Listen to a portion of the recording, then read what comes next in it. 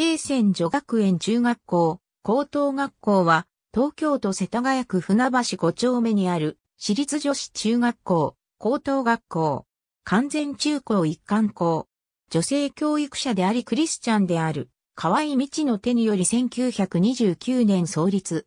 世界に目を向け、平和を実現する女性になるために、自ら考え、発信する力を養うを目指すべく、聖書、国際、園芸を教育の柱としている。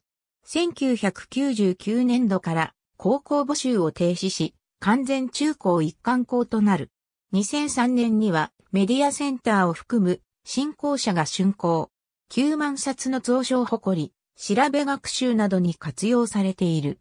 主体性、多様性、共同性を育む毎朝授業開始前、学内にあるフェロシップホールなどで生徒、教職員が礼拝を行う。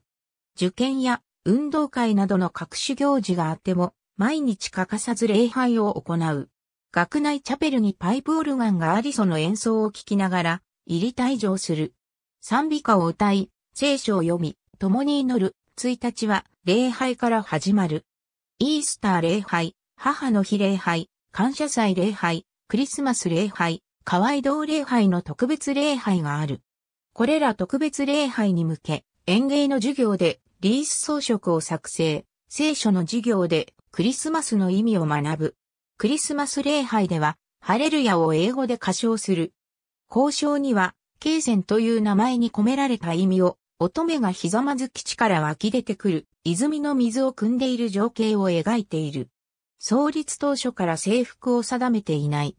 創立者である河合道がそれぞれの個性を大事にするべきだと考え私服になった。皆、自由に服を選んで着てくる。最近では特に拘束はなく、制服らしい格好や、私服の格好をする人など思い思いの着こなしが見られる。すべて自由というのではなく、ルールはある。袖のある服を着る。スラックスは十分丈のあるものを着用する。カビでない清潔な服装に交渉をつけて、通学するよう指導している。通常の生徒会と異なる信数会が組織されている。生徒は入学と同時に会員資格を持ち、発言権と投票権が与えられる。